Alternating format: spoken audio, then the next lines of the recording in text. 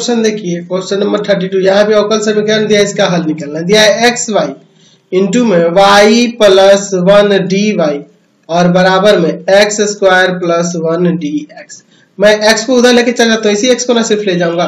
तो वाई और इंटू में ये है तो y plus one d y और बराबर में है एक्स स्क्वायर प्लस वन और ये बटा में एक्स आ जाएगा।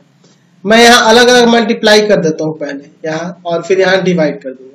तो यहाँ हो जाएगा y square plus y d y और यहाँ हो जाएगा आपका x plus one by x d x अब इंटीग्रेशन कर देते हैं। लिखते हैं integrating integrating both side integrating both side दोनों तरफ़ इसका इंटीग्रेशन निकाल देते हैं। Integration of y square plus y d y और इधर हो जाएगा x plus one by x d x तो इसका देखो वाई स्क्वायर का हो जाएगा वाई क्यूब बाई थ्री और y का हो जाएगा? वाई स्क्वायर बाई टू इधर x का हो जाएगा आपका x square by two one by x का हो जाएगा log x और प्लस में कॉन्सेंट c. ये आपका आंसर हो गया। समझ गए ना?